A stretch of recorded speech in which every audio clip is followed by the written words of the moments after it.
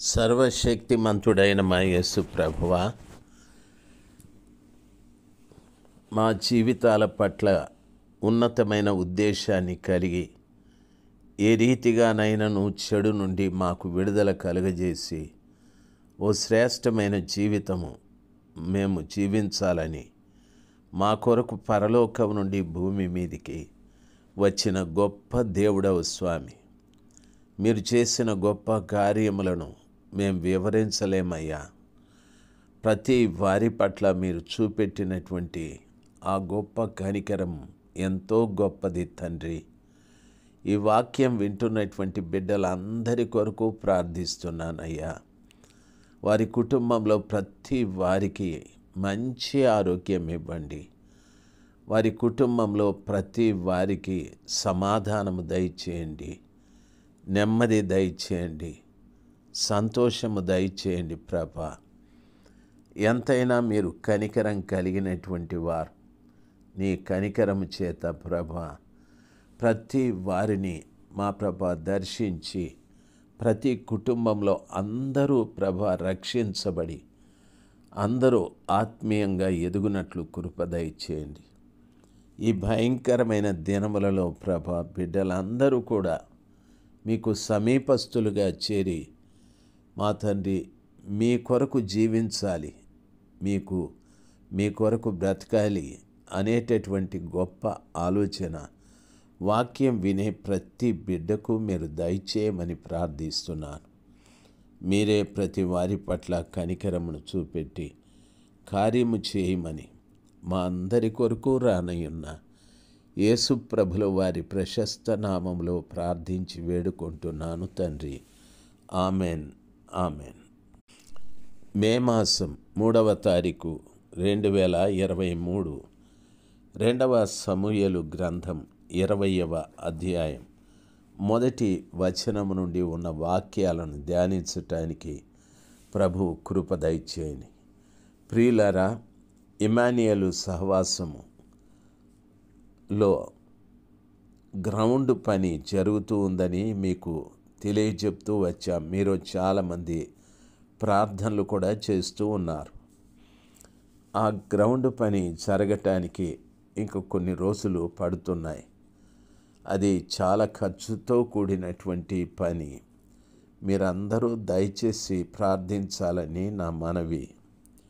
ప్రియులరా ప్రభు కనికరిస్తే ప్రభు చిత్తమైతే జూన్ మాసం రెండు మూడు నాలుగు తారీఖులలో ఆ యొక్క స్థలం ప్రారంభము చేయబడుతుంది. గొప్ప కూడికలు కూడా ఆ స్థలంలో ఏర్పాటు చేయడం జరిగాది. అయితే అక్కడ దైవ సేవకులు దేవుని సందేశాన్ని అందివ్వటానికి దైవజనులు ఇమాన్యుయల్ మినిస్ట్రీస్ హైదరాబాద్ జర్మియా గారు దైవజనులు హోసనా మినిస్ట్రీస్ జాన్ వెస్లీ గారు. దైవజనులు హోసనా మినిస్ట్రీస్ దైవ సేవకులు అబ్రహాము గారు అని అనుకున్నాం కానీ దైవజనులు అబ్రహామయ్య గారికి సమయం కుదరక రాలేదు. దయచేసి గమనించాలి. ఈ లోపుగా దేవుడు ఈ బిడ్డలిద్దరిని కూడా ప్రత్యేకించి దేవుని యొక్క వర్తమానము చెప్పటానికి ఆహ్వానించాం. అది ఇమానియల్ మినిస్ట్రీకి సంబంధించినదే అయినా దేవుడు గొప్ప కార్యాలు జరగాలి. ఈ వాట్సాప్ ద్వారా వాక్యం వింటున్న బిడ్డలకు అందరికీ హృదయపూర్వకమైన ఆహ్వానాన్ని అందిస్తున్నాం. దయచేసి రండి ఆ కూడికలకు. దేవుడు ఘనంగా ఆ కూడికలు జరుగు రీతిగా మీ అందరి ప్రార్థనలు మీ అందరి సహకారాలు. మీరు కూడా కూడికల్లో హాజరై దేవుని ఆశీర్వాదాలు పొందాలని మిమ్మల్ని హృదయపూర్వకంగా ఆహ్వానిస్తూ ఉన్నాం. జూన్ మాసం రెండు మూడు నాలుగు తారీఖుల్లో. ప్రియులరా ఇంకా వివరంగా రాబోయే దినాలలో దీని విషయం చెప్తాను. అక్కడే బైబిల్ తర్బీదు పొందటానికి దేవుడు కృప చూపేట్లాగా అనేక మంది బిడ్డలు ఆ స్థలంలోనికి వచ్చి బైబిల్ తరబీదు పొందాలని మేము ఎంతగానో ఆశిస్తూ ఉన్నాం.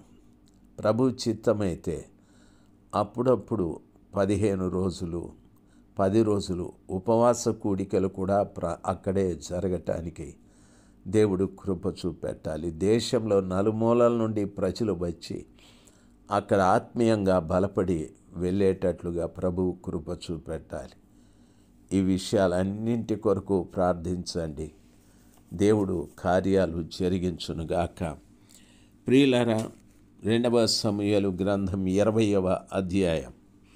బెన్యామీనీయుడొకడు బిక్రీ కుమారుడైన శబయాను పనికి మాలిన వాడొకడు అచ్చుట ఉన్నాడు. వాడు దావీదునందు మనకు భాగం లేదు. యషయి కుమారుని యందు మనకు స్వాస్థ్యము ఎంత మాత్రమునూ లేదు. ఇస్రాయేలు వారలారా మీరందరూ మీ మీ గుడారములకు పొండని బాకాబూది ప్రకటన చేయగా ఇస్రాయేలు వారందరూ దావీదును విడిచి బిక్రీ కుమారుడైన షబయా షభాను వెంబడించి వెంబడించిరి. అయితే యోర్దాను నది నుండి ఎర్షిలేము వరకు యోధావారు రాజును హత్తుకొనిరి.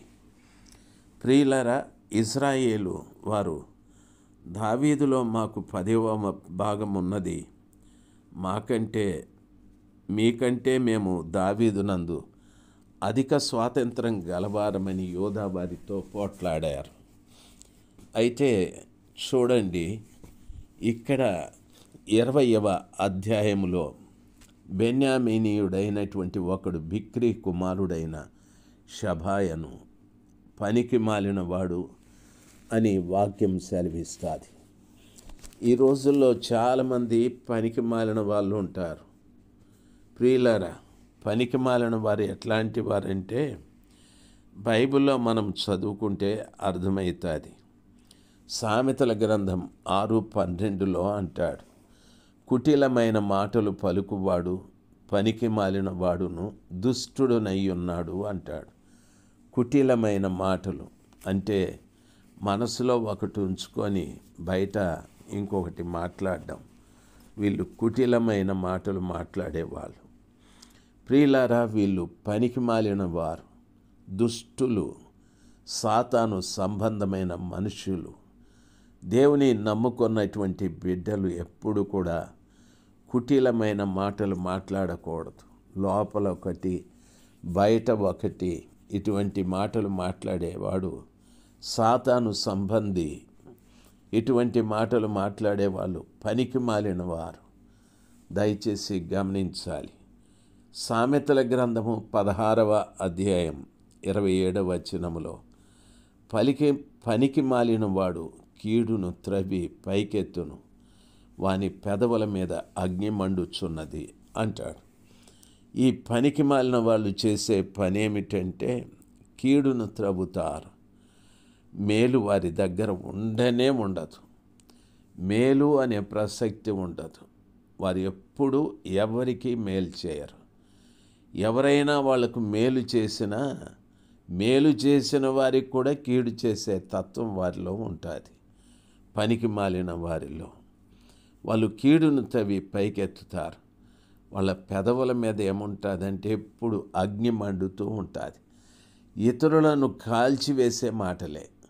ఇతరులను నాశనం చేసే మాటలే. ఇతరులను బాధ పెట్టే మాటలే. ఇతరులను అవమానపరిచే మాటలే తప్ప వాళ్ళ పెదవుల మీద ప్రేమతో కూడిన మాటలు కానీ క్షమాపణతో కూడిన మాటలు ఇట్లాంటివి రానే రావు. దయచేసి గమనించాలి. చాలామంది భక్తులుగా ఉంటారు కానీ ఇటువంటి పనికి మాలిన వారుగా చాలామంది ఉంటారు.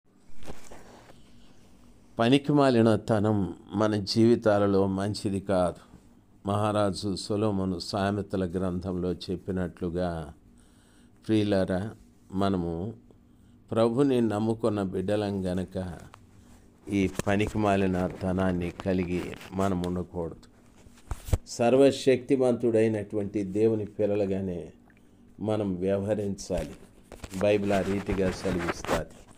ప్రభువు కూడా అన్నాడు ఆ తలాంతుల విషయంలో ఒక తలాంతు తీసుకున్నవాడు దాచుకొని ప్రభు ఆయన అడిగినప్పుడు ఆయన మాట్లాడిన మాటల్ని బట్టి ప్రభు చెప్తాడు పనికి మాలిన చెడ్డ దాసుడు వీని దగ్గర ఉన్నది కలిగిన వారికి ఇచ్చేయండి. వీన్ని వెలుపటి చీకటి కొట్టులో పడేయండి అన్నాడు. కాబట్టి పనికి మాలిన తనం మన జీవితంలో ఉండకూడదు. బైబిల్ చెప్పిన మాట ప్రియులారా మన నోట అగ్ని మండకూడదు. మన నోట ప్రేమ కనిపించాలి క్షమాపణ కనిపించాలి శత్రువును కూడా ప్రేమించాలి అనేటటువంటి గొప్ప మనస్సు యేసు ప్రభుల వారిది. అది ఎరిగి మన నోటిలో కుటిలమైన మాటలు కానీ మన పెదవుల మీద అగ్ని మండడం కానీ ఇలాంటివన్నీ కూడా మనలో నుండి తీసివేయబడాలి. ఆయన అంటాడు శబయ ఏమని మాట్లాడుతున్నాడు తెలుసా? దావీదునందు మనకు భాగం లేదు అని. ఇజ్రాయేలీలు అంటారు దావీదునందు మాకు స్వాతంత్ర్యం ఉంది. అతనిలో పదవ భాగం మాకుంది. అని మాట్లాడతారు. ఈయన అసలు దావీదులో మనకు భాగం లేదని యషేయి కుమారుని అందు మనకు స్వాస్థ్యం ఎంత మాత్రము లేదని ఇజ్రాయేలు వారలారా మీరందరూ మీ మీ గుడారములకు పొండని బాకాబూది ప్రకటన చేయగా ఇజ్రాయేలు వారందరూ దావీదును విడిచి బిక్రీ కుమారుడైన షబాను వెంబడించిరి. అయితే యోర్దాను నది నుండి ఎరుషులేము వరకు యోధావారు రాజును హత్తుకొనిది అని వాక్యం సెలవిస్తుంది.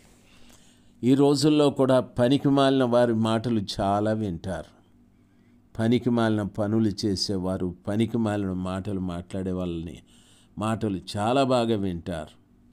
అయితే దేవుని హత్తుకొని జీవించేటటువంటి వారి మాటలు వినరు. దేవుని హత్తుకొని జీవించేటటువంటి ఆ బిడ్డల మాటల్ని తిరస్కరిస్తూ ఉంటారు. మీరు ఒకవేళ ఆ రీతిగా ఉన్నారేమో దయచేసి పనికివారిన మాటలు కాదు కానీ రాజైన దావీదును యోధావారు హత్తుకొన్నట్టు చాలామంది బిడ్డలు దేవుని హత్తుకొని జీవించేవారు ఉన్నారు దేవుని హత్తుకొని జీవించేవారు. వారి మాటలు విందాం. ప్రియులరా గమనించాలి.